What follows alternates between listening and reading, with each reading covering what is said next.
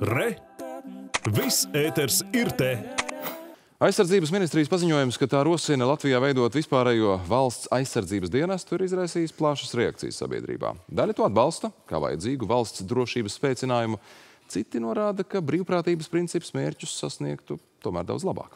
Atbalstu jaunajai pieeja ir paudzes gan valsts prezidents, gan koalīcija. Bruņoto spēku komandieris savukārt sauc par politisku lēmumu, kas viņam ir jāatbalsta.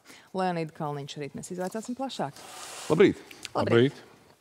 Vispirms gribas uh, vaicāt, cik daudz jūs, es domāju, bruņoties spēki un arī jūs kā to vadītājs, uh, esat bijuši klāt pie šī, nu, es teiktu, sabiedrībai nu, visai negaidītā ministra paziņojuma, uh, pie šī lēmuma izstrādes. Cik daudz tādas apspriešanās vai konsultēšanās ir bijis, vai tas tāds tīri politikas gaitiņos tapis piedāvājums? Apspriešana principā bija jau no janvāra mēneša diskusijas par šī iniciatīvas eh, paziņošanas vai ieviešanas, eh, protams, eh, Latvijas aizsardzības sistēmā. Un es personīgi esmu piedalījies vairākās sanāksmēs, kur arī izteicu savu viedokli. Mm. Un šis viedoklis ir? Es joprojām neesmu mainījis savu viedokli, ka Latvijas bruņotie spēki jākomplektē uz brīvprātības principa, un nekas nemainās manā nostājā. Šis uh, iniciatīvas uh, mērķis ir visaptverošās valsts aizsardzības ietvaros pēc iespējas plašāk apmācīt Latvijas sabiedrības pilsonisko daļu, lai viņi būtu sagatavoti militārā jomā. Gadiem ilgi, jāteic, no paša politiķa puses arī ir izskanējis, ka nu, tāds plašs dienests ir finansiāli ļoti dārgs un par efektivitāti arī ir šaubas. Vai tas joprojām ir spēkā šāds uzstādījums arī? Jā, tas ir ļoti dārgs.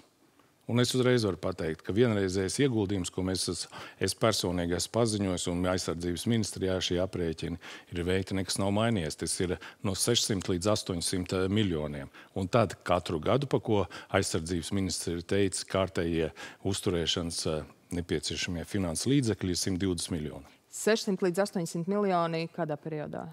Tas ir uzreiz tikko mēs, jā, nu, jā, mēs gribam uzsākt eh, šo projektu. Tātad infrastruktūra, ekipējums, munīcija, eh, at, atlīdzība, viss tas ir nepieciešams uzreiz ieguldīt. Aizsardzības ministrs vakar intervijā mums teica, ka ļoti daudz esot ņemts no Somijas, un Somija stādīja kā tādu labo piemēru. Vai šobrīd tur jūs redzat arī paralēlis ar Somiju, vai mēs vispār varam skatīties uz Somiju? Protams, aizsardzības ministrija ir pētījusi, un mēs arī pastarpināti esam pētījuši ne tikai Somiju, gan Šveici, gan arī Zviedriju, Norvēģiju, Lietuvu, Igauniju. Kaut ko var no turienes aizgūt, bet īstenībā tā precīzi, simtprocentīgi tas nav pielietojams Latvijā. Vairāk jūs priekšteči arī par šo tematu ir izteikušies. Mums vakar rīt eh, Raimons Graube, sakot, ka šis varētu tiešām būt ļoti eh, veiksmīgs risinājums. Viņš to apsveica. Savukārt eh, Gaidis Andrejs Zēbots diezgan skeptiski tieši norādot to, ka tas ir ļoti dārgs risinājums un faktiski nekad jau tas neatiecas uz bruņoto spēku kaujas spēju celšanu, obligātais dienas, teiksim, kā ilgtermiņa rezervju gatavošanu, kā jūs arī teicāt, militārā sagatavotība. Vai šajā kontekstā mm, to visu saliekot, šo sistēmu var vērtēt tiešām kā būtisku pienesumu valsts drošības stiprināšanai, vai tas ir vairāk tāds militāri, patriotiski, visaptverošs, nu, tiešām arī sasaistot iespējams arī ar gaidāmajām vēlēšanām rudenī politiski? Pa vēlēšanām neko neteikšu.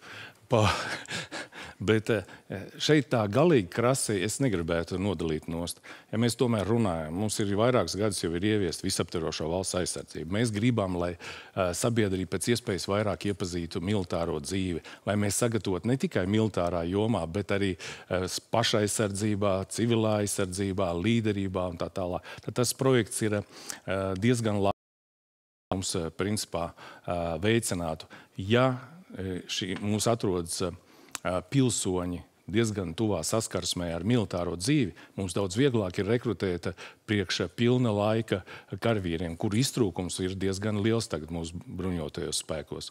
Un šogad rekrutēšanas tempi ir, ir krasi samazinājušies. Šogad ir samazinājušies? Jā. Krasi, par... Cik lielā mērā? Jā. Uh, mēs uz šogad, uz šodien dienu esam rekrutējuši 98 karavīrus. Un... Jūs salīdziniet ar iepriekšējiem gadiem, kad uz tādu periodu ir uh, bijuši apmēram 300. Kur Vai jums... tas iemesls ir, ņemot vērā to, ka mēs tiešām runājam kara sākumā, Ukrainas un ap šo laiku aktivitāti cilvēkiem zemesardzē piesakoties bija strauji kāpusi. Kāpēc tieši bruņoto spēku un karavīru rekrutēšanas jomā šādas deficīta pusē izmaiņas? Mēs, mēs ļoti dziļi mēģinām atrast tos iemeslus. Es domāju, ka tas ir saistīts ar vairākiem iemesliem. Pirmkārt, ir demografiskās bedres paša Bedres dziļums? Dziļums viszemākais, jā, tāpēc, ka 20. gados bija ļoti zema dzimstība. Tas varētu būt objektīvais faktors. Jā. jā. Otrs ir, protams, jaunieši lielā mērā tika iesaistīti bruņotos spēkos, ka vecāki viņus motivēja. Jūs Te ir profesija, te ir disciplīna un tā tālāk. Vecāki laikam tagad mazāk motivē, lai iesaistītos bruņotajos spēkos. Un, un trešais, tas ļoti būtiskais. Mēs šogad vispār nevaram galīgi konkurēt ar civilās sfēras atlīdzības šo lielumu. Būvniecībā elementārs darba ņēmējs saņem pusotrais vairāk nekā pirmā gada karavīrs. Un, protams, ka tas uh, rada iespēju. Ar visu aizsardzības nozares prioritāti un lielo, lielo budžetu, kas it kā būtu nu, neradīt šaubas par iespēju arī konkurētspēju atalgojumu nodrošināt. Mēs esam iesaistīti kopīgā atlīdzības likumā. Mēs nevaram vienu pašu pacelt algus, ja tas netiek celts visās valsts struktūrās. Cik tad šobrīd ir atalgojums? Šobrīd atalgojums, eh, ko karavīrs saņem uz eh, rokas, ir, eh, ir apmēram 1000, 1051. gada karavīrs. Jā, un te uzreiz es gribu pateikt, ka tas atalgojums, jeb alga ir 550 eiro, plus viņam tiek piemaksāts par pārtiku 300 eiro, un plus tā ir īres kompensācija. Un tad tas sastāda šo 1050 eiro, kas, ko viņš saņem pirmā gada dienestā uz rokas šajā vispārējā valsts aizsardzības dienesta koncepcijā arī, cik mēs runājam, cik sapratām, tas piedāvājums ir eh, gan neliels summas, 400 eiro, ja nemaldos, eh, būtu arī maksāt šo mm, iesaucamo mm, mācību laikā. Tur arī noteikti ir zināma summa, kas tieši uz šādām atlīdzības eh, sfērām būtu atvēlama. Vai tas ietilpst visu šajā lielajā 600, jūs minējāt, 800 miljonu paketē. Tieši tā, tas ir papildu finansējums. Un otrkārt, vēl līdz galam nav izlēmts, vai tie būs 400 eiro, vai tā, tās ir tehniskās detaļas, ko nāksies mums risināt pēc saimnes balsojuma. Un tad politiķu rokā tas viss ir. Tā. Jā, bet, nu, kā saka, vēlams slēpjas detaļās, mazliet varbūt plašāk arī par detaļām. Skaidrs, ka, ja veido šādu plašu dienestu, Ja tur ir zināms skaits, vērā ņemams skaits arī jauno cilvēku, kuri uh, ir gatavi šim dien, dienā dienestam, viņiem ir kaut kur jāpaliek, ir vajadzīgas kazārmas, infrastruktūra un tam līdzīgi. Šobrīd jau ir skaidrs, ka mums ir nepieciešams arī būvēt jaunu infrastruktūru NATO paplašinātajiem spēkiem, kas ir apsolīti, ka būs Latvijā. Tas nozīmē, ka milzīgi ieguldījumi vēl šajā jomā. Tieši tā, papildus līdzekļu ministrs kabinetam būs jālemj, jo tie līdzekļi, kas mums tagad iedalīti šeit, tie ir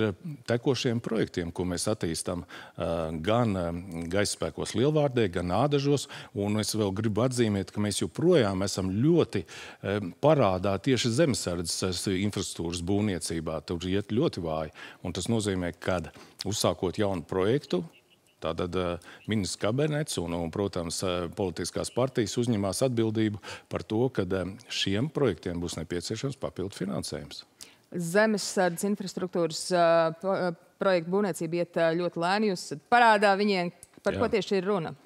Mums bija daudzi projekti, un atcerieties, es teicu, ka mums četros gados līdz 23. gadam ir jāiegulda 100 miljoni infrastruktūras būvniecībā, lai zemesardzes vienības saņemtu to infrastruktūru, un tā lielā mērā ir saistīta ar, ar dažādu veidu noliktavām, ekipējumam, munīcijām. Tas ir nepieciešamās šautavas izbūves, ja, un arī sakārtot šo centrālo ēku, kur ir nepieciešams nepieciešams atrasties vismaz vada lielumiem eh, personāla sastāvām ilgākā laika periodā.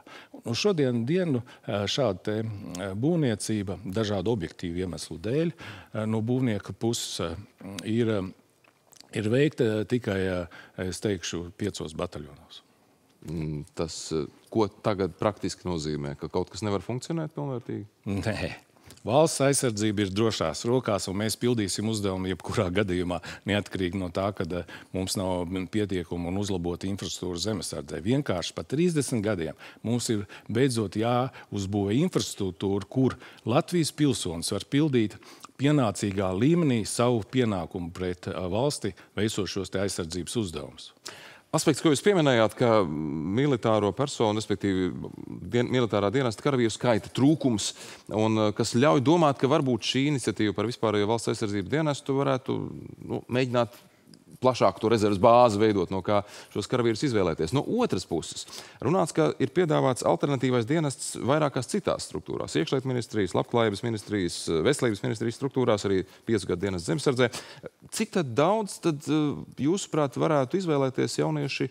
Eh, kurus obligāti iesauc palikt šajā militārajā jomā. Jo, ja daudzi, kā izskan vismaz viedokļos, tas nav socioloģiski precīzi, izvēlas alternatīvo dienestu, tas jau nerisina arī šo skaita problēmu bruņotajos spēkos. Jums ir pilnīgi taisnība. Tas ir tāds milzīgs un smags darbs, kādā veidā motivēt, lai Latvijas pilsoņu vīriešu kārtas iesaistītos pilna laika valsts aizsardzības dienestā, kādā no regulāriem spēku veidiem. Pirmkārt, tā ir mehanizētā brigāde. Jo tagad ir pilnīgas tiesības, nekur nav aizliegts pilsonim. Viņš var izvēlēties zemesardzē 5 gadus pavadīt pa 20 dienām gadā. Viņš students var izvēlēties vada komandiera kursu universitātēs. Viņam lai nevajadzētu zaudēt apmācības eh, tempu. Un visas šīs alternatīvās iespējas trijās ministrijās. Un tā, tas, tā ir tā tehniskā problēma, eh, kur mums jāatrisina, lai motivētu. Nu, primāri jau uh, mēs naivi ceram, ka viņi brīvprātīgi lielākā daļa pieteiksies uz, uz ļoti attraktīvu un intensīvu dienestu. Un te, te, protams, ir uh, diskusija un mums jālēm jau par to ilgumu. 11 mēneši, spriežot pēc eh, dažādiem komentāriem sociālajos tīklos, eh, diez vai jaunieši apmierina. Vai šīs eh, koncepcijas vai piedāvājuma ieviešana vai implementācija, nezinu, tad tas būtu arī jums novirzāmais uzdevums, vai tomēr ministrija un, un citi augstāki gaiteņi pie tā detalizācijas vēl strādās? Vai tagad, lūdzu, ideja ir? NBS Kalniņš tagad, lai Bez bruņoto spēku dalības šie, šīs problēmas nav atrisināmas. Nu, ko, par uh, sabiedroto spēkiem vēl šonadēļ bija ziņa, ka NATO paplašinātās klātbūtnes kaujas grupai pievienojas Ziemeļmaķedonija. Tas uh, skaits ir neliels, bet uh, simboliski laikam ļoti nozīmīgs tomēr, vai ne?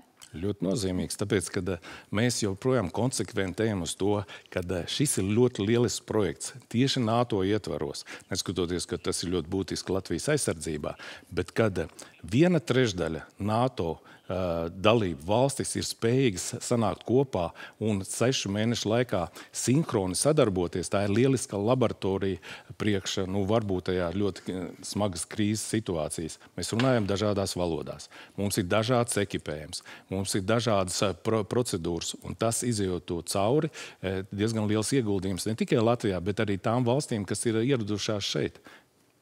Un noteikti arī šis jaunais poligons varētu būt viens no mm, bāzes elementiem, kas palīdz NATO Madrides eh, samitā pieņemtos lēmumus ieviest praksē, šeit izvietojot plašākus spēkus arī tā skaitā šī poligona izveide un principā bāzes izveide ir prioritāte numur viens tagad gan aizsardzības ministrijā, gan uh, bruņotajiem spēkiem. Mēs ceram, ka pirmā jau šī bāzes lietošana, nevis uzbūvēta infrastruktūra, uzreiz mēs varētu apmēram gada pusotra griezumā mēs tur atrasties. Ādažos mēs nespējam tik milzīgu uh, apjomu karaspēka nodrošināt ar treniņiem. Un šis te, uh, geogrāfiskais apjoms, ko mēs iegūstam, tie ir uh, vairāk kā 24,000 hektāri. Tātad iedomājieties, ka tas ir vismaz divreiz lielāks par ādažu poligonu, kuru var manevrēt, var nodrošināt šaušanu ar tām. Uh, uh, bruņojumu iekārtām, ko mēs īstenībā gribam iegādāties. Tātad tas ir raķešu artilērija, tā ir mūsu artilērija, kas jau mūsu rīcībā ir, un dažāda manevras iespējas šī poligona ietvaros. Un vēl Latvijas armija jau pavisam drīz 103. dzimšanas dienu svinēs. Mēs, protams, sveicienu svētkos sūtām jau laikus, bet kā dzīmēsiet šo gadu dienu? Ņemot vērā, ka tomēr apstākļi mainās no iepriekšējiem gadiem, tā tikšanās iespēja brīvāk ir teorētiski. Šie ir īpaši svēki zemesargiem, karavīriem un civiliem darbiniekiem, ka mēs neredam citiem svētkus. Tas nozīmē, ka visi karavīri svinēs šos svētkus kopā ar ģimenēm, ar eh, saviem draugiem un tuvākiem. Protams, mēs ar aizsardzības ministru apsveiksim ādažos eh, tos karavīrus, kas tur ir dislocēti un atrodas eh, pastāvīgi, bet ne, nedodās mājās. Un, Šie svētki ir ļoti īpaši mūsu karavīriem, un es eh, augstu vērtēju un arī viņus apsveikšu ar augsto profesionalitāti un ar ieguldījumu, eh, ko viņi dara, lai nodrošinātu sabiedrībai pārliecību, ka Latvija tiks aizsargāta. 103. gada diena. Vērienīgi. Vienīgi. Lai priecīgi svētki un, protams, lai tā darba duna, kuras uh, gaitā diezgan daudz dažādu jaunumu, par ko šorīt runājām, nu, lai tomēr saglabājot prātā galveno mērķi un, un tā piepildījumu kvalitatīvi, efektīvi un nu, ar domu. Ar domu jā, protams. Paldies! Paldies liels. jums un būsim drošībā! Bruņoto spēku komandieris Leonīts Kalniņš.